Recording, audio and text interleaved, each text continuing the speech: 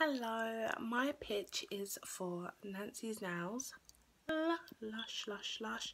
It's the only ever, like the only scented top coat um, created, by, like innovated by myself, um, made by the manufacturers that I use um, here, and it's all made here in Britain, um, including the bottles, the brushes, and everything. Um, sorry. so my brand is new, innovative, and fresh, and everything thereafter um, will be the exact same. Uh, what I'm trying to do is um, just create and be um, different in everything that I do. Um, whether it being cosmetics, sales and retail and the whole shebang and I believe that um, my product and those that, and the products coming thereafter will help you guys see how important it is and um, just see where I'm taking this and how the future will change by me doing this.